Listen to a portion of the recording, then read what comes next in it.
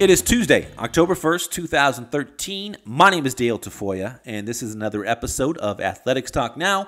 We're a podcast and blog that celebrates the past and embraces the future of Oakland A's baseball. This is podcast number 120, and we want to welcome you, A's fans across the globe, listening on YouTube, Facebook, iTunes, Stitcher Radio, and our website, athleticstalknow.com. On Twitter, you can reach me at, at Dale Tafoya. That's at D A L E T A F O Y A. And we'd like to welcome you to find us on Facebook. We're at A's Talk Now, and be sure to like our Facebook page. And on iTunes, search Athletics Talk Now for an archive of over 100 podcasts. As I mentioned earlier, it's October 1st, and I want to wish former A's first baseman Mark McGwire a happy birthday. And as we get ready for game one of the ALDS on Friday, who better to join us than an Oakland A's legendary pitcher with a record of 8 and 0 in ALCS play? He was an All Star, a World Series MVP, and during the A's run in the late 80s and early 90s, with all of those playoff games, did you know they never had a game seven in the postseason? But if they ever did, we all know who'd get the ball. My guest, his name is Dave Stewart, and many, many A's fans still call him Stu. Stu, thanks for hanging out with us as your former team and hometown embraces postseason baseball. Oh man, shoot, it's nothing like it, man. This is the best time of year, um, as far as the game is concerned. Um, all the teams are now um, done with their races and getting ready to to figure out who's going to be um, the last two standing. And I mean, this is an exciting time for baseball. This is an exciting time for A's baseball. During your postseason career, Stu, you, you've witnessed some iconic and some bittersweet moments for some A's fans in World Series history. Starting with Kirk Gibson's walk-off homer off Eckersley in Game One of the '88 World Series, while you were with the A's, and while you were with you were a member of the Blue Jays in 1993, you saw the infamous Joe Carter walk-off World Series championship home run in the '93 World Series. Talk about those two moments, Stu. Well, I mean, both. As you said, one was bitter, the other was sweet. Um, and I just happened to be pitching in both of them. Um, you know, with the with the with the with the Kirk Gibson home run, obviously that was game one in in the '88 series, and you know we had a we had a pretty good roll uh, going up until that ball game. Um, we had uh, gotten through the the division, the league championship series, and, and um, you know that was game one, and we were prepared and ready to play. And the Dodgers struck first, and, and but you know, I was able to know, gather myself and give our team a chance to, to get back in the game, which we were more than capable of doing with the offense. We had the players that we had, and you know, then we get into that ninth inning after pitching eight full innings and get into that ninth inning, and something that none of us expected was for one to to walk somebody, which that was an unusual situation for Dennis. Um, I think Dennis probably only had four to four or five walks for the whole season, and you know, um, he, he let let let a guy get on with the walk, and, and then um, you know the the, the Kirk Gibson um, home run, and that put us down, and and I'm not too sure that we ever really recovered from that blow. Um, um, and as we did, we went on to lose that series, and and then the Joe Carter, I mean, it was just an unbelievable situation. Once again, I started that game and threw the ball well. I got in trouble going into the seventh inning, and um, but left the game with the lead. And eventually, uh, the the score um, went in favor of the Phillies, and you know we got got into that situation, and you know the right guy at the right time uh, at the plate. And to, to be frankly honest, we had the right guy on the mound for the Philadelphia Phillies um, uh, for that situation to happen with Mitch Williams, who he threw, threw his fair share of strikes, but um, overall was wild. And, um, you know, Joe being up in that situation um, got the pitch that he could drive, and, and we ended up winning that game in the last inning. And of course, Stu, you're, as we mentioned earlier, you were 8 and 0 in ALCS play. How much did you prepare differently for a postseason start opposed to a start in the regular season? Um, I, didn't. Um, if, if I'm being frankly honest, I, I really didn't. Um, you know, playing for Tony and playing for uh, Dave Duncan um, prepared me for situations like the postseason because what Dunk always said is you want to get yourself in the frame of mind that every game is a big game. You you want to pitch every game as though it's it's a, it's a big game. The problem is through 30 in in in, in a full season, you know, making 37 and I think 35 to 37, maybe even 38 starts. You know, you, you're going to lose your fair share of games. Whereas in a in a in a in a short series, um, the the likeliness of winning a baseball game if your concentration and if everything goes well, you're going to win a baseball game. And so mental preparation was the same. Uh, the only thing that was different is the short series and um, the the chance of, of winning a winning a game or losing a game obviously is 50-50, but um, because of the preparation during the course of the year, pitching against Clemens and Violas and the Finleys and the Jack Morrises and guys like that, and and making those game big game situations prepared me for the playoffs.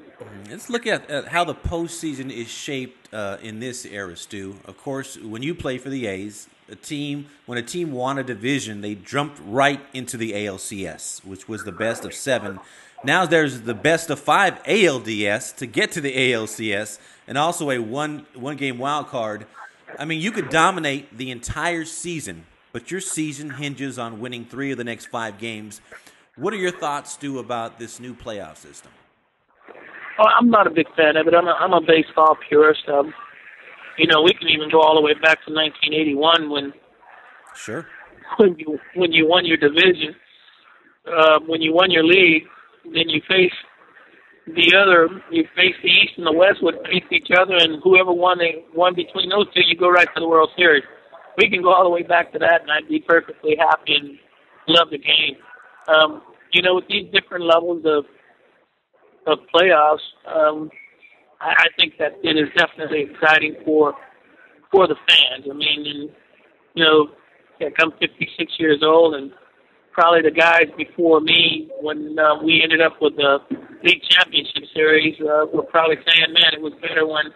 When it was just a division series or a league series and you play in a World Series. And it's just better for the fans now. We've got younger fans and we're trying to get people more involved in the sports. We're trying to keep keep, keep baseball the number one sport. And so by adding these different divisions, obviously we've added a little bit more excitement. And you, you talk to a thousand fans, they'll tell you that they may miss a hundred of the sixty of the hundred and sixty two games that are played during the year, but they're glued to the TV when it's time for division and and playoff and World Series.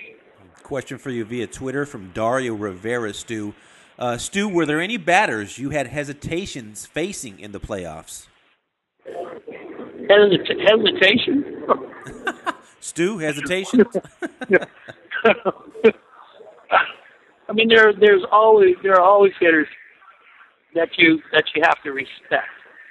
Um, and that means anybody that comes up there with a bat, you got to you got to give them the respect of potentially being able to to do damage.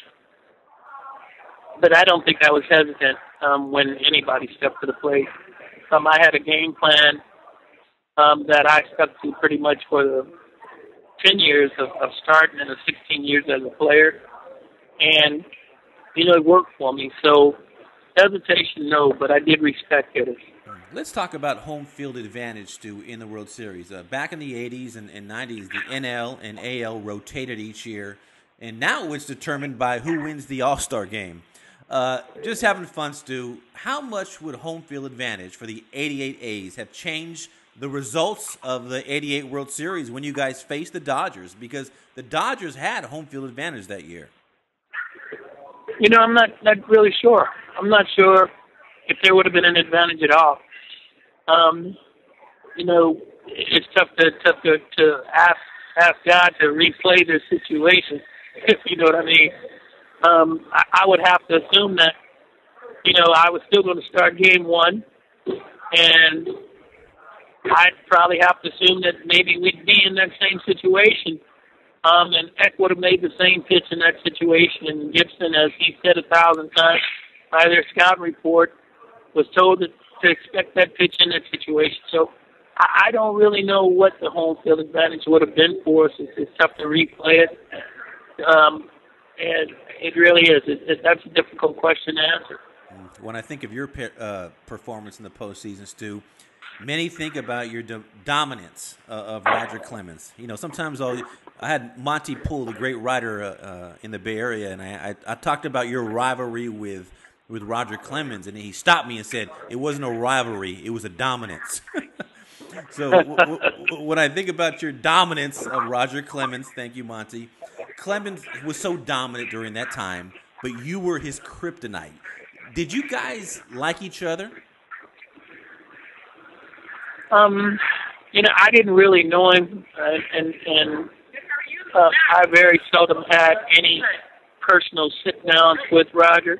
I remember doing a, an interview in Boston on NESN, um, where um, uh, the the broadcasters from Boston had come to our dugout and asked me the day before if I would do a sit down with Roger, and I said I'll do one if he wants to if he wants to do one, and he agreed to do it, and we did a sit down together. But that is the first and only time I can remember ever sitting in the same space with him. So when you ask did I like him, I didn't like um, what I saw from across the field.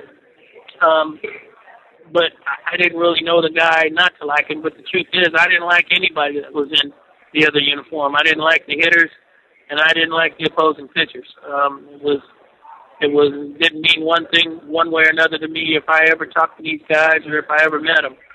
Um, it was difficult in the All Star game that I played to to even be the same locker room with guys that in two days I was going to be seeing on the other side of the field. So um, I wasn't trying to make any friends in, in in the sport other than my teammates. I guess is the best way to put it. And you pitched in a great deal of ballparks in the postseason, Stu. Fenway Park, the Sky Dome, Candlestick, Dodger Stadium, just to name a few. Was there a stadium that you got a little more pumped up for? Well, I really like going to Boston. Um, and the reason why I like going to Boston is because the fans there, they were difficult fans and, um, in my opinion, not very nice fans. And so for me, uh, my theory when I went to when I went to Boston was, what can I do to take them out of the game? How can I get them out of the game? And wh- whoever it was that I'd be pitching against on the other side, I was going to let him finish that game. If anybody was going to finish that game, I'd be the guy to finish the game. And um, that's that Boston probably of all the ballparks I really got pumped up to, to pitch at. Question on, on Twitter for you, Stu, uh, from John English. Respect, respectively, Stu, of course, what on earth happened to the A's in the 1990 World Series against the Reds? we we came prepared to play, um, but we didn't execute.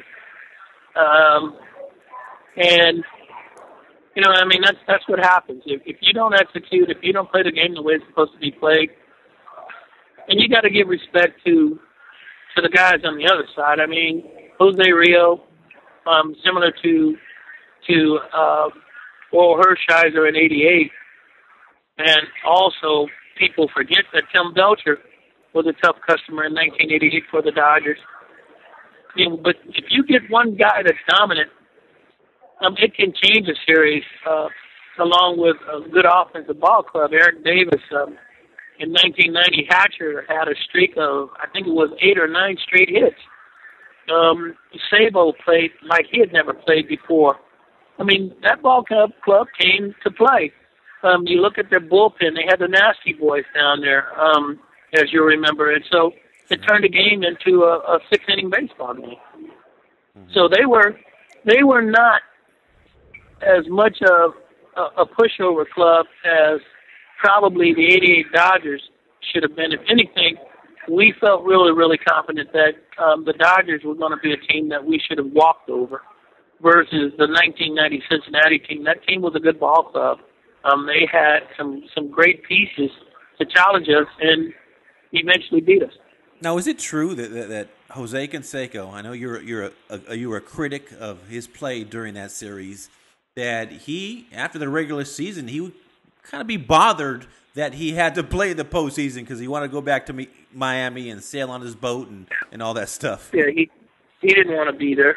um, and and he made that publicly known in in our clubhouse. He he didn't want to be there, but you know we still tried to go about the business of, of playing the game, um, whether he wanted to be there or not. And the A's finished their season on Sunday, the 2013 A's, Stu, and they start the ALDS on Friday against the Tigers. Tigers. That's a four-day layoff. And I remember in '88, Stu, the A's cruised through the playoffs, swept Boston, while the Dodgers secured a playoff spot almost on the last day of the season. And the Dodgers go seven games with the Mets in the NLCS that year. The Dodgers were playing at, at a high level for weeks. Talk about what a layoff can do if you clinch too early, and what do you have to do to stay sharp as a team? Uh, I mean, for me, a layoff can be good and it can be bad. Um, if you've got guys that are beat up and banged up, uh, and I'll give you an example. The 1989 World Series, um, it was a long, long season for for us in particular. We had a lot of guys that were beat up and banged up. I know that physically, and I was probably on my last, last, last, last string. So we have the earthquake. We get a 10 day layoff. I mean, for me, that was a breath of fresh air. So, I mean, in, in regards to, you know, the layoff, it, it just depends on, on the, the, the, the, the makeup and the, how physically, how physically well your, your team is. If your, if your team needs dates, I think that you know the layoff works to your advantage. Um, if your team is playing well, then you want to keep the momentum going. So it really works both ways. Mm. And Stu, the A's are hosting a playoff rally in front of Oakland City Hall today at five o'clock. Game one of the ALDS on Friday is sold out, and the demand was so great, Stu, the A's had to take off the tarps from the third deck. Close to 50,000 fans will pack the Oakland Coliseum this Friday. You played in Oakland during the during postseason baseball. What kind of atmosphere do you anticipate there, and, and what would it mean, Stu, for the country to witness A's fans pack that stadium in Oakland? I got to tell you what, there's no better place to play um, than Oakland um, in the playoffs. With a packed house, it is an unbelievable feeling it's it's a it's a feeling that I can tell you personally I've never forgotten. Um, you know, taking the mound and hearing the fans chant "Stu." I mean, it's it's it, there's just no bigger feeling. I know that there are some fan favorites now in that ball club, and um, probably during the course of the year, I shouldn't even say probably. I know during the course of the year that those kids going out on that field have never seen a stadium as packed as it's going to be through the playoffs. It's going to be electrifying, and you know, knowing the makeup of that ball club, at least from from a distance, watching them on TV and and looking at what I think the makeup of that team is, those kids are going to be riding. They're going to be riding with with that with that uh, tenth stand. Mm. And of course, uh, the '88 World, World Series comprised of the Dodgers, and A's, Stu. And I have to ask you, I know you're Matt Kemp's agent. if the Dodgers and A's play in the World Series this year, who, who do you got? Uh, I plead the fifth. Come on, A's fans are listening, Stu. I plead the fifth on that one. I mean, I'm born and raised in Oakland, and so you know mm-hmm. it's going to be difficult for me to root against um, my home team uh, it's going to be very, very difficult. Um, you know, unfortunately, um, and it's, this is the unfortunate part. I mean, my my only real connection to the Oakland Oakland club is obviously my history with the team, but you know, Billy Beane was my teammate. Um, you got Curt Young in, in the dugout as as hidden guy. Ricky Rodriguez is there. Sure. Um, you know, I've got uh, Steve Vucinich, the clubhouse, and Mikey Thalblum, and all of the, clubhouse guys that were there, and they were youngsters then and are now grown men. But my guys um, to the to the ball club, Mr. Dobbins by the clubhouse, and all of the the people that work security. Those are the people that I know now, and I don't, I'm not really connected to the players on the field, but my sentiment, my heart is always going to be with the hometown. Mm-hmm. And of course, you were born in Oakland. Is it tough, maybe? Um dealing with uh, with an ownership, Stu, and, and trying to connect with an ownership that wants to take the team from your hometown and move it to San Jose? Is that Does that weigh in the relationship at all, Stu? Yeah, it does. I mean, I'm I'm a traditional guy, and I think I said that before. Sure. I mean, when you look at the 72, 73, and 74 Oakland A's teams, you know, and though we didn't win in 88, 89, and 90, we were there three straight years. And those were the golden days, in my opinion, of the Oakland A's. And and the tradition of that franchise is in Oakland. And so, yeah, it is. It's difficult for me to to to tie myself to to ownership when you want to move a club that traditionally um, is Oakland, and and and I think taking that ball club out of the city is going to be detrimental to the city of Oakland. So it's not just the ball club, but it's also my home. Mm, absolutely. And Stu, I, I, I text you this a few weeks back, and I just want to. Many fans are dying, especially in Oakland, for a new ballpark in Oakland and, and a, a, a Dave Stewart's pub, a Rickey Henderson Lane, a, Eck's tavern, uh, just a, a, a, downtown ballpark that would be full of A's history. And I think many fans uh, are excited about that possibility. Well, I, I got to tell you, uh, you know, if all things work as they're supposed to, uh, that ball club will stay in Oakland. That's Dave Stewart. I'm Dale Tafoya. Thanks for listening, A's fans. And, and Stu, thanks for always taking the time, and I mean this from the bottom of my heart, taking the time to give back to the A's fan base.